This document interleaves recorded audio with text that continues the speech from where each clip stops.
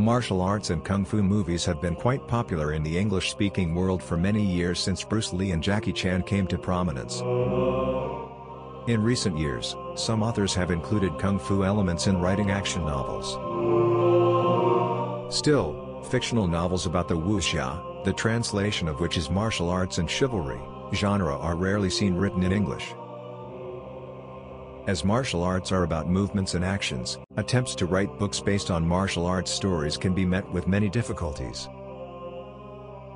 This book is written from the perspective of how the Chinese view the world of martial arts. The Central Kingdom is the first book of the Master of All Masters series.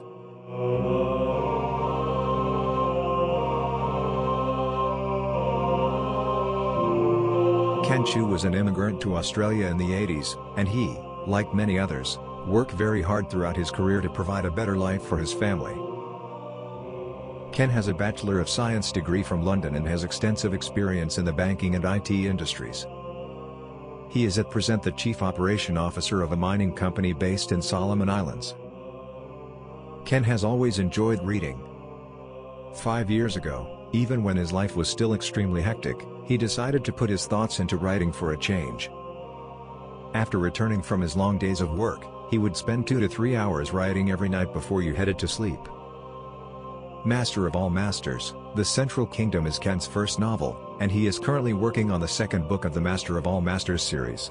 This series will be a trilogy. Now available on Amazon.com and theadverter.com.